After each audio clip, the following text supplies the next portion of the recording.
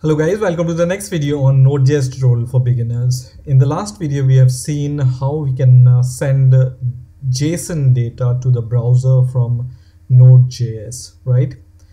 And this was the code I have written in the last video. Now in this video, we will talk something about uh, routing and uh, we will talk uh, how we can, uh, you know, route our data and cater different uh, responses for different uh, requests right? So let's get started.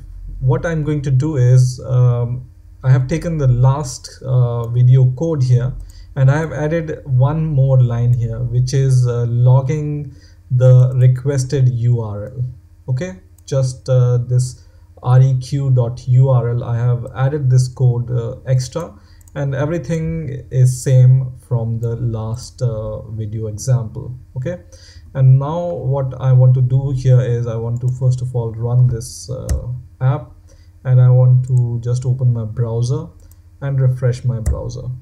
So the base URL here is uh, forward slash right? This is the URL now for example I want to request uh, something like API for in my URL I want to add uh, forward slash API and I want to request some data when I request uh, or I extend my URL with this forward slash API and when I do this you can see uh, the request is uh, gone with the different URL but the response is same right? And for example I want to add a about page and I will press enter it gives always the same response whatever the requested URL is. You can see I have requested the forward slash API uh, URL or uh, forward slash about URL or for example home. Let's say home. The you know uh, response is always the same. So how we can route these uh, different URLs according to the request we want to send the response. So let's see how we can do it. So I'm going to go to the code once again here.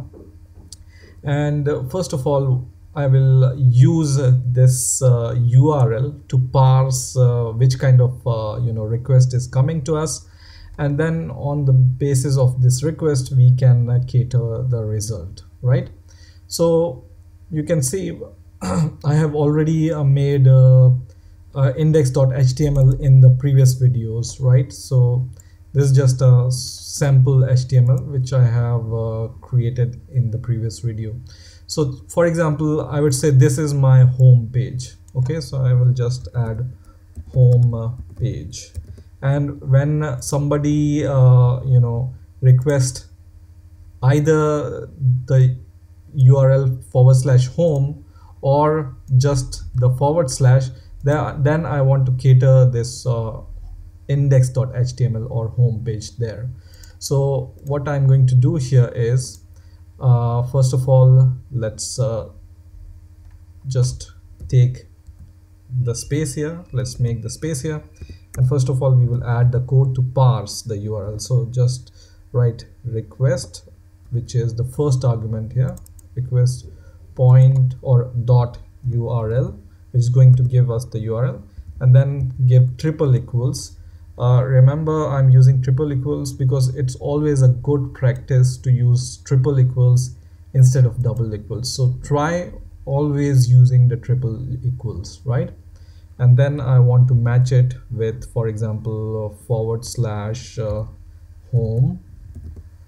Or if it's only a forward slash okay so I'm just going to copy this and paste it here. And if it's a forward slash then what I want to do here is I want to give the text response. So I will just copy this line of uh, code but this is HTML right? So instead of this I can just say text forward slash HTML right? Now in the next line we are going to create the stream of our HTML page and then we will send it. This will be html here. So fs dot create read stream. And we want to uh, create the read stream from our index.html so we can just directly give index.html which is already present right? And we will pipe it to the response. So we just write to pipe and then just write response or res okay? So this is going to just send the index.html whenever this home is requested or the base url is requested. Or else we can just write if or you can better write else if right? So just write uh, else if and if the request url is for example the json object. So i will just say triple equals uh, api so this is just kind of a api and uh, whenever this api is requested then we want to uh, give this uh, json object. So i will just create a if condition and inside my if condition i want to send all this uh, json data right? Something like this. Okay? So what will happen now? I'm going to just forward format it. Just right click on your visual studio code and just click format. It's going to format your code right? And let's uh, rerun our code once again. So close the code and rerun it once again. And now when i do for example just a base url and press enter is going to show us the home page which is the index.html it's sending from the server. Or whenever we write here forward slash home we will see the same response the home page. But whenever we write here API for example API then it gives us the the JSON response right? And in the same way we can uh, you know give different re re response on re different requests so let's add uh, one more uh, response for example. So for example i want to have a about page so i'm going to create a about.html so i will just say about.html and in this about.html i'm ju just going to copy the code from index.html and i will just say here about page. Okay? So this is my about page. And in my app.js I can uh, just copy this code from here. I would just say else and my code the code which I have copied which is uh, this code. And instead of uh, home I will just add about here and I will just remove this right? And instead of index.html I will just uh, replace it by about.html right? And let's run the code again and let's see if it works or not. So I'm going to open the browser and this time I will just ask for about. And it gives us the about page right? Or home then it gives us the home page right? Now for example let's say I'm just uh, requesting some random URL once again is going to uh, you know request it but it's not never get, going to get any response from the server because server cannot resolve this URL right? Now in this case uh, whenever server cannot uh, resolve the URL ideally we want to send the response 404 which is not found right? So let's add this response so in the last condition I will just add a else condition which is the last condition for us. And let's create a 404 HTML page. So I'm going to right click and I will just say this is my 404.html page right? And once again I'm going to just copy the HTML content from uh, index.html or about.html and paste it here and I will just write here 404 and I will just write not found. Right?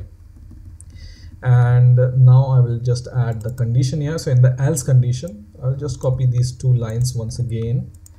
And here I will just write the 404.html and instead of giving 200 response this response I will replace by 404 right? Which is uh, not found status code.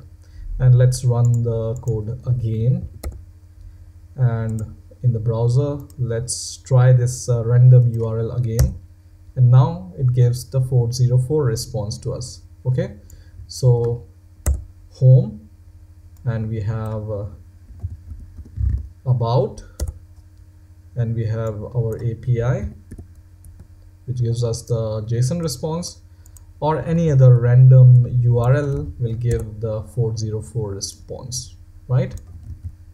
So in this way you can uh, you know route your request and give the response according to the uh, you know URL requested. Now there are much better ways of uh, routing your uh, requests uh, using some extra modules or third-party modules. And this is uh, we are going to see whenever we will learn how to use npm modules right? So there are uh, you know thousands and thousands of third-party module available to perform different functionalities uh, so we can use these uh, modules using npm and this is what we are going to uh, see in the future how we can use these modules. So the, all these things can be done in a much easier and professional way. So i hope you have enjoyed this video. Please rate comment subscribe and bye for now